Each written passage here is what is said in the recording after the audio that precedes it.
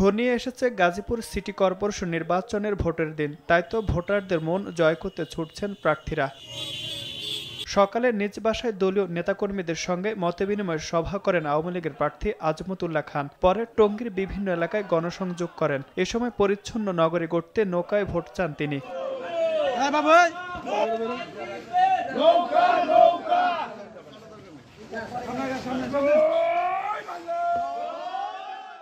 আসলে জনগণের কাছে আমাদের একটি অনুরোধ যে এই নগর আমাদের সকলের। এই নগর সুন্দর থাকলে আমরা সবাই সুন্দর থাকব, আমাদের ভবিষ্যৎ প্রজন্ম সুন্দর থাকবে। এই নগরে বসবাসকারী বিভিন্ন শ্রেণি পেশার মানুষ আমরা যারা রয়েছি, সবাই আমরা সুন্দর থাকব। সেই লক্ষ্যে আসুন এই নগরটিকে সুন্দরভাবে গড়ে তোলার জন্য। আগামী পঁচিশ তারিখে যে নির্বাচন, সেই নির্বাচনে নৌকা প্রতীকে ভোট দিয়ে আমরা আমাদের সেই স্বপ্ন পূরণ করতে পারি এটি প্রত্যাশা। জনগণের ভালোবাসা নিয়ে এবার বিপুল ভোটে জয়ী হবেন। নগরীর সালনা এলাকায় গণসংযোগ করতে এসে এমন আশা প্রকাশ করেন স্বতন্ত্র প্রার্থী জায়দা খাতুন। গেলাম।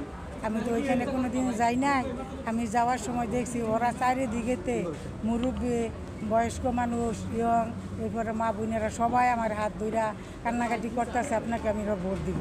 আপনাকে আমরা ভোট দিব। আমি চিন্তা করে ঠিক আছে, আল্লাহ ভরসা, আলহামদুলিল্লাহ। আমার আপনারা যদি আপনাকে ভালো লাগে, আমার ছেলে যদি আপনাকে কোনো উপকার করে থাকে, আপনি যদি আমার ছেলের কথা মনে হয়, মনে করেন তার মারে দিলে ভালো হইব, তাইলে আগে আল্লাহ বাদে ভোটটা মারে মনে চাইলে দিয়ে।